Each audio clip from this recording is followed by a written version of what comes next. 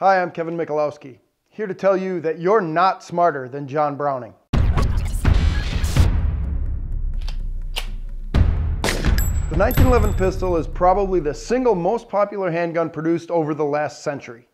The design is more than 100 years old, and I get about six calls or emails a week with people complaining about how I portray the 1911 pistol in Concealed Carry magazine. People always ask me, Kevin, why do you have that pistol cocked in the holster, ready to go? Because that's the way John Browning designed the 1911 pistol to be carried.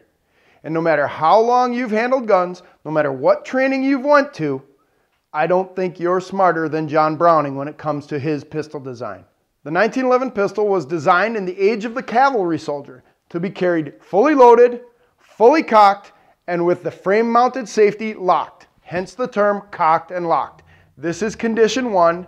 This is the way you should be carrying the 1911 pistol. No matter what you've heard about other carry conditions, Carrying with the hammer down. Look at, I'm trying to get the hammer to drop right now. I can hardly do it. How do you want to carry your pistol for action? Do you want it hammer down on an empty chamber so that when you draw the pistol from your holster, first thing you have to do is cock it and then hope that the bad guy waits for you to catch up? No, I don't think so. Do you want to carry with the hammer down on half cock?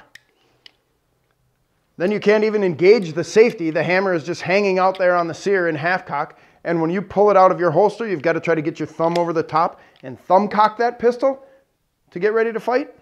Again, I don't think so. Fully cocked, safety locked, hammer all the way back, full magazine in the magazine well. That's the way the 1911 pistol should be carried. John Browning designed the 1911 pistol with several internal safeties and an external safety. First of all, safety number one, your trigger finger. Keep your finger off the trigger until you're ready to shoot. You won't have any problems. Safety number two is the grip safety in the back. You have to be holding your firearm in a firing grip. The grip safety has to be completely depressed. And safety number three is the thumb safety right here on the frame. Press it down, that's the go switch. Up, safe. Down, fire. One more time. Up, safe.